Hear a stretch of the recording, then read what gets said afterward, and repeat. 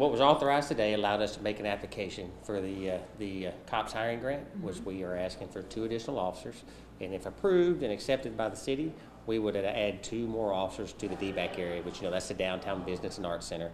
Um, as we come to, to focus on the development that's coming, as we focus on any crimes in this area, but also individuals that are going through crisis, whether it's drugs, whether it's homelessness, what can we do to help lift them up and get them to a place that, that makes them more comfortable and also gets them the assistance they need.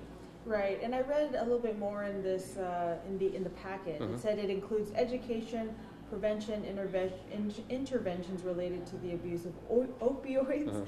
and other substances in the community. So can you kind of elaborate more on that and why that's needed? You know, as we as we're we're working in the downtown area, we know individuals go through drug issues, and often associated with opioids or, or things that are that are that are helping keep them homeless, help them keep them in a situation that exposes them to crime, but also possibly makes them commit crimes. Also, anything we can do there to possibly help them, get them to the resources they need, get them to the rehab they need.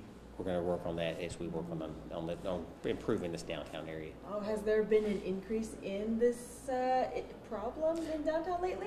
I think a big uh, part of it is, you know, a lot of our resources for dealing with, with homeless um, individuals are in whether you talk about the Salvation Army, whether you talk about the Gateway of Hope, whether you talk about the, the churches that are downtown that are providing food and resources.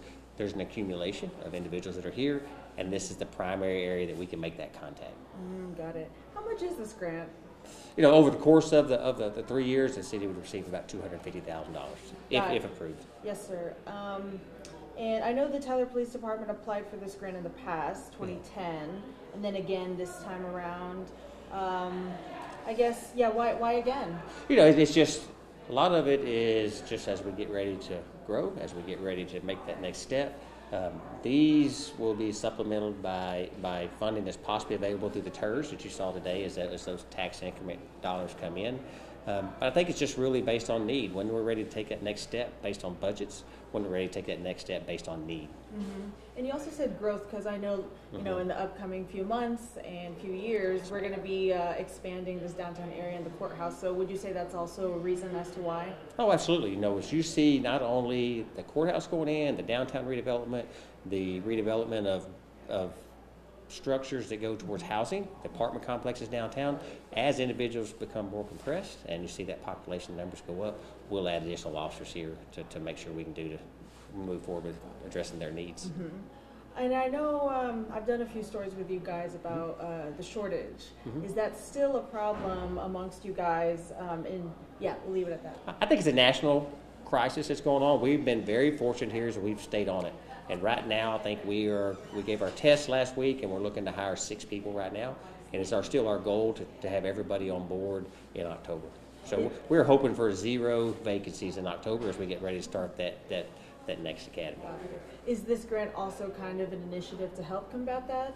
I think it's, it's, it's just based on more and more people moving to Tyler, the growth associated with it, the development going on, and all the investment downtown is really the, what's pushing this grant. And can you elaborate more on that 25% minimum cost required for the city? What does Yeah. that mean?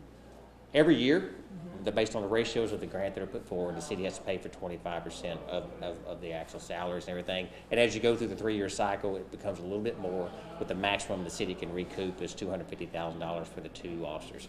After that, we'll, we'll absorb them into our department and we'll fully pay the cost of them. Okay.